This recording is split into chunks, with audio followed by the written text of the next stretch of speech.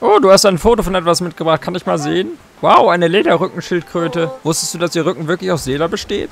Deshalb kann sie ihren Kopf nicht in ihren Panzer zurückziehen. Traurig irgendwie. Ich werde ein Foto an prominenter Stelle platzieren. Unseren Lesern wird es bestimmt gefallen. 200 Gold, immerhin. Es gibt hier mehrere Fotopunkte, also werde ich dich wahrscheinlich wieder um Hilfe bitten. Mach ruhig. Oho, du hast das neue Fischmoon für unsere Sammlung mitgebracht. Hm, ein Papageienfisch mit einem Helm und Hörnern. Die Leserschaft wird ausrasten. Ich bin gespannt, wie viele Exemplare der kommenden Ausgabe verkauft werden, wenn sie Montagmorgen erscheint. Wenn die Ausgabe herauskommt, bringe ich dir dein Honorar für deine Arbeit. Mach weiter so.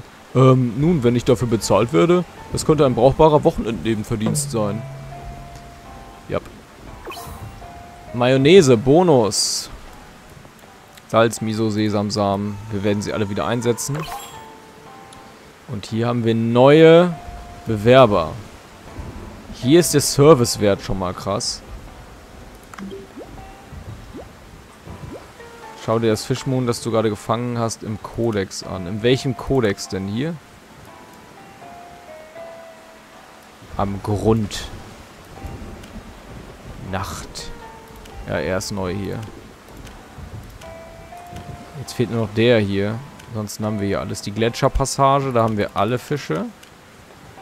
Die Gletscherzone. Mein lieber Herr, da ist auch wieder noch irgendein Gegner. Das sieht an einer sehr großen Qualle aus. Ein paar Haie kommen hier offenbar auch noch. Hydrothermale Quellen? What? Irgendwie sehen die auch sehr gruselig aus. Göttlicher Baumkontrollraum. What the fuck? Was kommt da denn noch alles? Mitteltief. Glatter Hammer High. Oberfläche. Da fehlt immer noch der. Keine Ahnung, welcher das ist. Und hier fehlen auch noch ein paar andere. Der zum Beispiel. Der, das wird dieser Schafskopf sein und das ist dieser Wels. Aber keine Ahnung, wann die wirklich auftauchen. Hier ist noch so ein besonderer Hai. Ich weiß es doch nicht. Ich weiß es doch einfach nicht. Echo Watcher 30. Nice. Erlege noch mehr Quallen. Ja, warum nicht? Ich habe nichts Besseres zu tun. So. Auf zum Sushi. Diesmal mit einer vollen Schicht. Boah, wir haben so viel bekommen, ne? So Personal. Wir wollen mal eben gucken. Billy, Pie, Davina, Carolina. So, was kann der am Ende? Bekommt immer Trinkgeld, räumt unordentliche Sitze schnell auf. Service 723. Servieren und kochen. Charme. Uiuiuiui. Charisma wird dauerhaft erhöht. Beschafft im Einsatz mehr Objekte. Erwerb und Charme ist bei der krass. Bekommt immer Trinkgeld. Bekommt immer Trinkgeld ist eigentlich auch nicht schlecht. Ja, aber ich weiß gerade noch nicht so. Ich weiß gerade noch nicht so. Wen hatten wir hier im Wartezimmer? Wer war denn von denen so gut? El Nino am Ende irgendwie, ne? Bin mir unsicher. Ich bin mir unsicher. So, denken wir über das Menü des heutigen Abends nach. Drescherhai. Das ist schon, ist schon ordentlich, ne? Riesenmaulhai. Ja. Stufe 9. Dann haben wir hier die Chimäre. Können wir auch mal aufwerten. Der Tigerhai. Auf die höchste Stufe. Können wir den auch aufwerten. Ja, aber das bringt nicht wirklich viel. Kupferhai.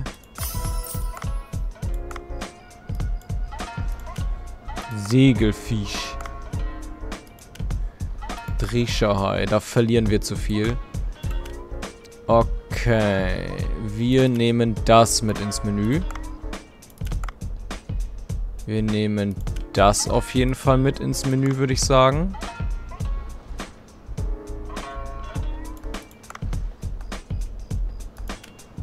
Fleisch an diesem Marlin. Können wir das veredeln? Könnten wir sogar. 494, komm. Können es leider nur einmal hinzufügen, aber das ist... Das ist schon mal viel wert. So, jetzt sind wir hier bei 13. Da passt noch ordentlich was rein. Das können wir auch verbessern. Das können wir nicht verbessern. Akami. Ganz ehrlich, wir nehmen davon ein bisschen was. Wir können am nächsten Abend sowieso nicht alles verwerten. Deswegen würde ich sagen, nehmen wir jetzt hier mal 10. Dann haben wir jetzt nämlich insgesamt 23. Und dann machen wir hier noch... Machen wir noch den Segelfisch. Machen wir noch 7 Stück. Sondern haben wir insgesamt 17, 18, 30. Das reicht. Los geht's. Leute an eurem Platz. Papa will Umsatz sehen. Er will Umsatz sehen. Ich bin schon ganz aufgeregt.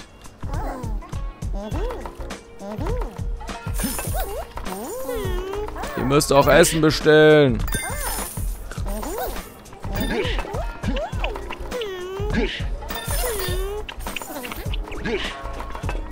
Bestellt mehr Essen.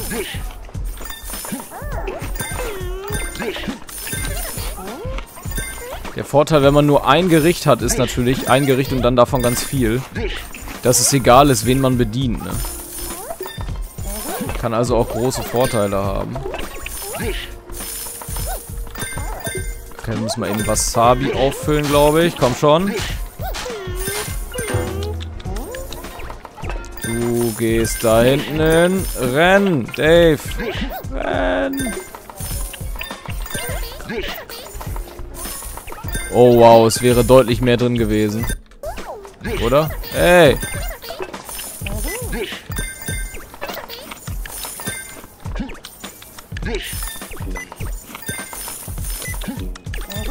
Ich habe gerade die Feststelltaste leider kaputt gekriegt irgendwie.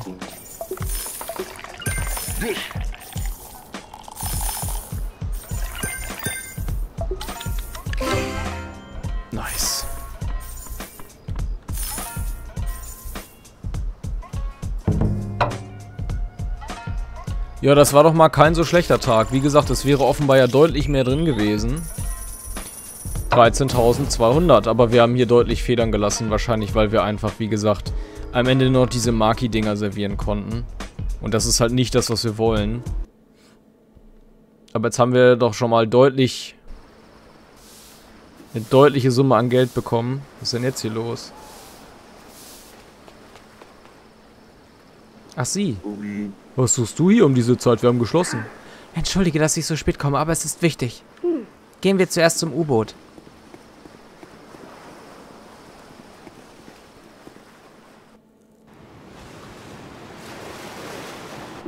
Was ist los, Miki?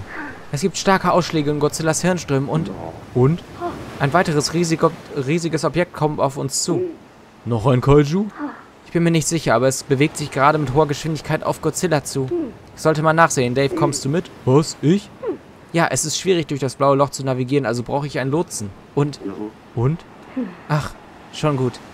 Lass uns zusammen in diesem U-Boot fahren. Bleib hinter mir.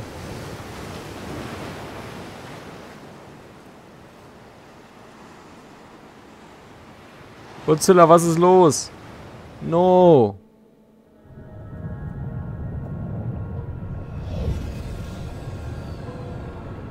Mach mir Sorgen um Godzilla.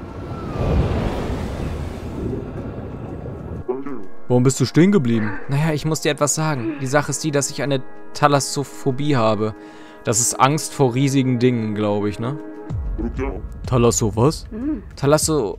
Thalassophobie. Das ist die Angst vor dem tiefen, dunklen Meer. Ach so, ich dachte vor großen, riesigen Sachen. Obwohl ich durch Training schon viel besser wurde. Um ehrlich zu sein, bin ich mir nicht sicher, ob ich dieses U-Boot sicher lenken kann. Dave, könntest du das U-Boot für mich steuern? Was, das U-Boot? Ja, es ist gar nicht so kompliziert, fast wie Autofahren. Nur, dass hier ein Maschinengewehr angebracht ist. Ähm, das geht mir ein bisschen zu plötzlich. Mach dir keine Sorgen, ich bin ja bei dir und werde dir Anweisungen geben. Das ist das, was sie sagen wollte vorhin, glaube ich. Also als sie oben war. Das hat sie sich dann aber verklemmt, also sie hat sich nicht getraut, das auszusprechen. So, und wir fahren jetzt das U-Boot.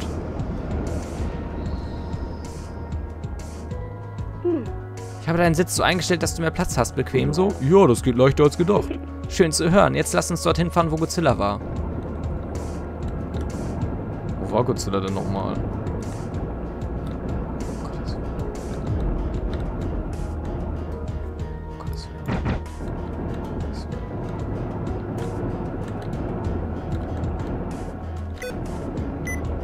Okay, warte mal.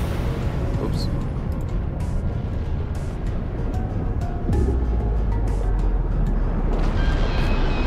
Ach du Scheiße.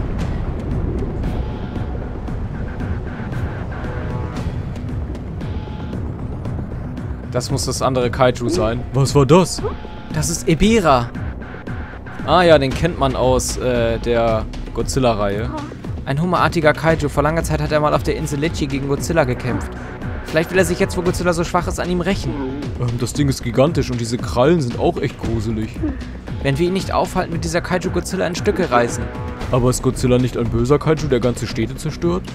Nicht immer. Godzilla ist eine Kreatur, die manchmal auch Menschen beschützt. Manchmal sind die Menschen dran. Manchmal geht es gegen einen anderen Kaiju. Das ist alles. Achso, dann zerstört er deshalb nur manchmal ganze Städte. Gut zu wissen. Verstehe, auf jeden Fall müssen wir Godzilla vor diesem Ibira Kaiju schützen, richtig? Ja, wir müssen zu Godzilla und ihn wecken, bevor Ibira ihn findet. Gut, dann los. Ähm, ich werde jetzt aber... Ah!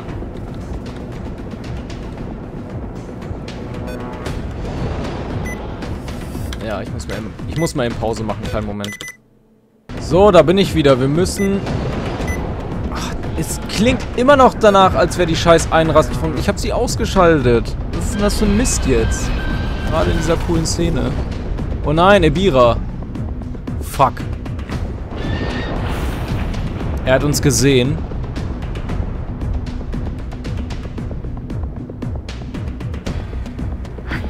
Ebira hat unsere Anwesenheit bemerkt. Jetzt ganz vorsichtig, Dave. Sorry, das nervt mich gerade super krass. Fuck. Nein, das ist gar nicht gut. Ah! No way! Oh je, das war echt knapp. Ich glaube, er hat gemerkt, dass wir auf Godzilla zusteuern. Da kommen jetzt ein paar heftige Angriffe auf uns zu. Das überlasse ich dir. Was? Au!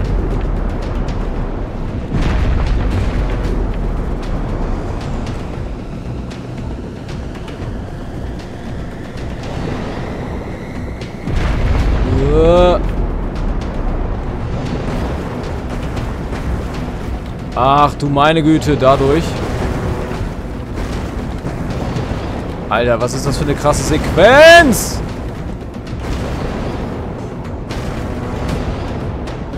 Fucking Ebira. Da ist Ebira. Äh. Okay, wir haben gerade ein richtiges Problem. Wir sind nur noch auf 22% Hüllenkraft, wahrscheinlich Hüllenkapazität. Hüllenintegrität.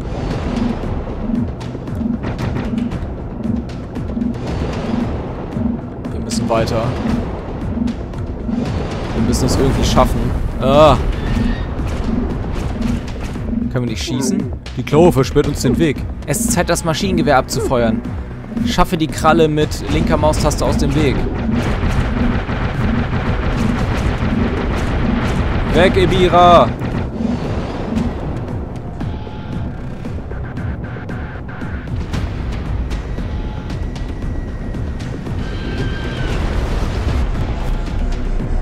Kuh!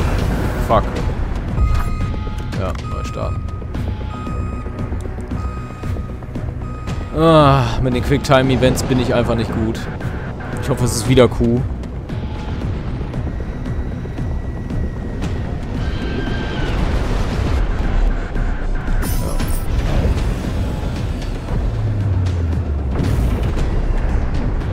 Ja. E.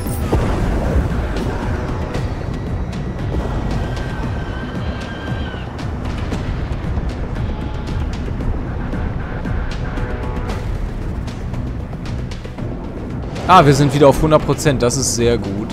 Wahrscheinlich, weil wir vorhin gestorben sind.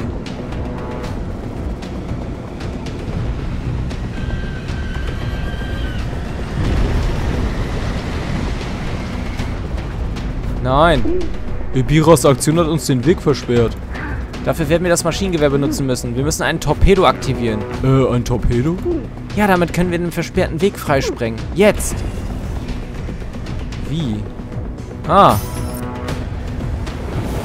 Feuer! Ja, der Weg ist frei. Gut, fahren wir da jetzt lang.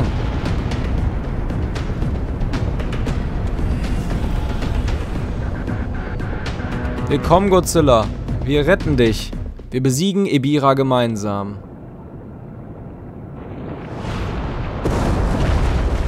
Nein. Oh nein. Ich wusste es. Auf keinen Fall ist er einfach entkommen. Bei diesem Tempo haben wir keine Wahl. Besiegen wir diesen Kaiju. Ich glaube, das ist leichter gesagt als getan.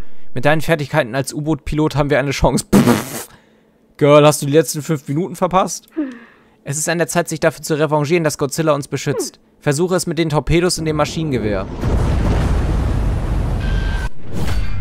Ebira. Oh, fuck. Was ist los? Äh, was ist los? Scheiße, ich hab was verpasst jetzt. Als Soldatin mich dann einfach zurückzulehnen und nichts tun, würde meine Pflichten vernachlässigen. Ich, ich habe letztes Jahr den ersten Platz beim U-Boot-Schnellreparaturwettbewerb meiner Einheit gewonnen. Klingt nach einem interessanten Wettbewerb. Wenn das U-Boot beschädigt ist, drücke die Taste, rechte Maustaste und ich werde es sofort reparieren. Ja, dann probieren wir mal, ne? Er holt aus. Feuer! Feuer! 1000 Schaden, gut.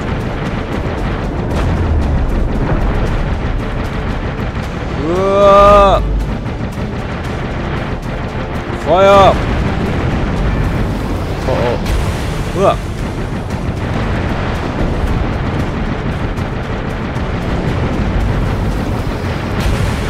Autsch. Repariere!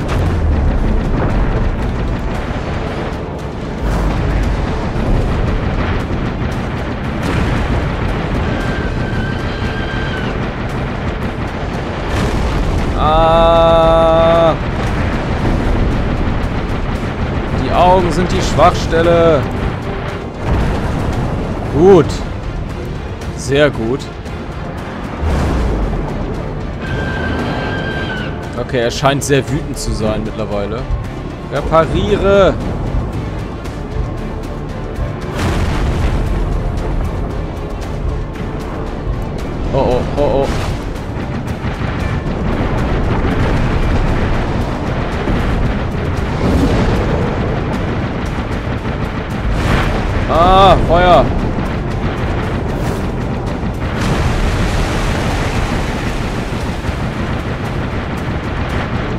Kill that witch!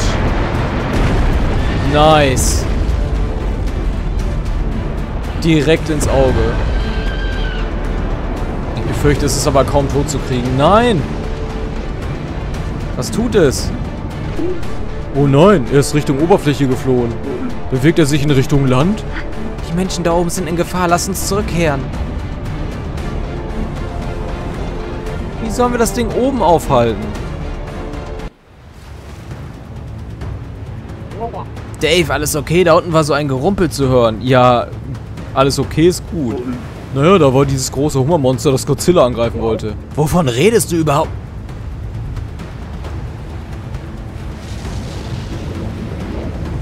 Scheiße. Ebira. Bancho! Nein!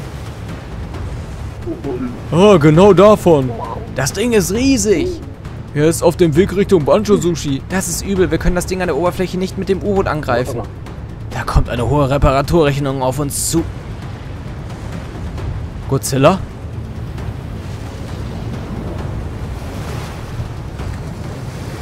Der Retter der Menschheit erscheint. Godzilla.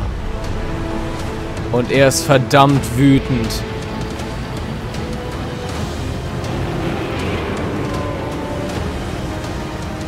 Er lädt seinen Atomic Breath auf.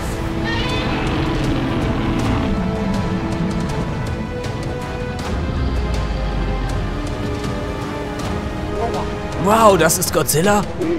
Er scheint sich vollständig erholt zu haben, aber dieser brennende Körper.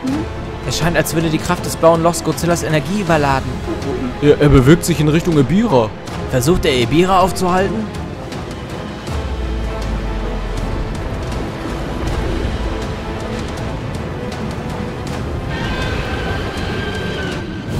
Godzilla vs. Ebira. Nein! Jetzt konnte ich gar nicht sehen, was ich machen muss.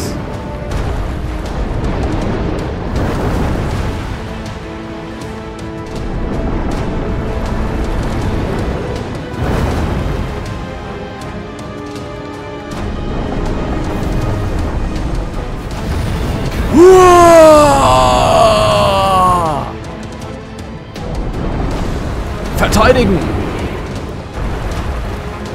Und jetzt Prankenhieb! Ha!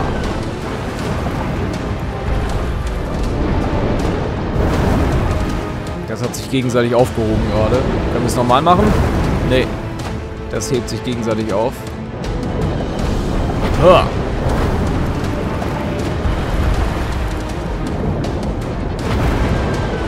Und den hinterher.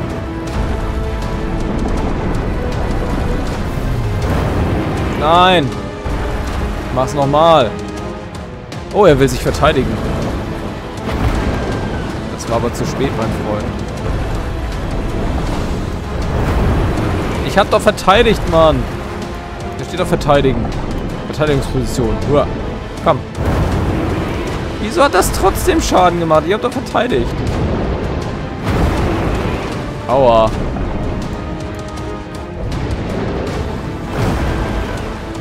Gut.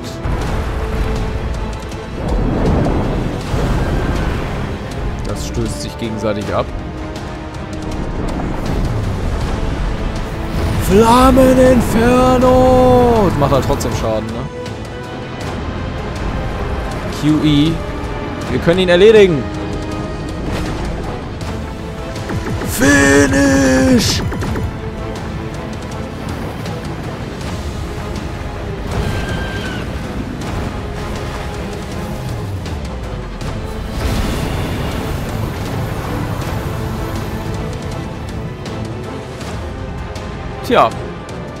Heute Abend gibt es Ebira-Eintopf. Godzilla hat Ebira besiegt. Ein Kampf zwischen riesigen Kaijus, wie krass das mit anzusehen.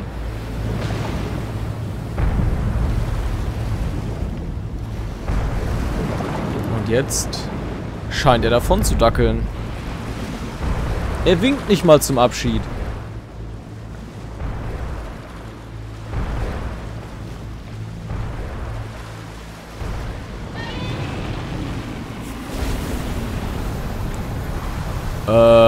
Ich meine gut, dass er die seine Wut an irgendeiner Wolke auslässt.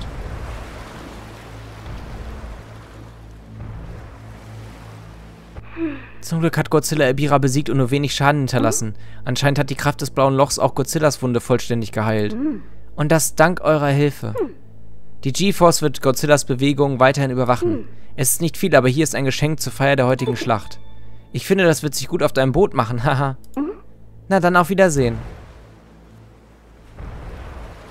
Ja, und das war der kleine, feine Godzilla DLC. Einfach nur eine kleine Nebenmission sozusagen.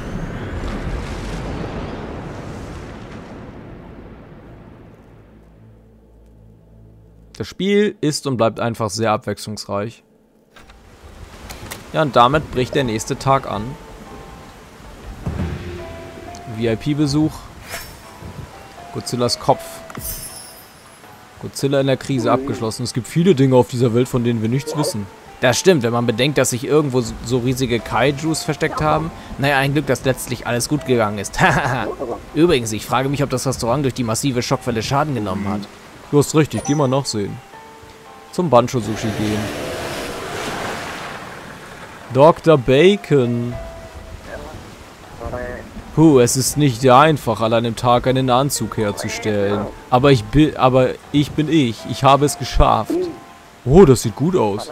Haha, warum gehst du ihn nicht anprobieren? Oh, das steht dir gut. Oh, die Größe passt auch perfekt. Danke, Dr. Bacon. Es fühlt sich warm an, vielleicht weil es aus Stoff, weil es aus Stoff aus der Frucht des göttlichen Baums hergestellt ist. Mit diesem Outfit kannst du dich nicht nur unter Wasser, sondern auch an kalten Orten frei bewegen. Sehr gut, Zeit zum Gletscherbereich hinunter zu gehen. Ja.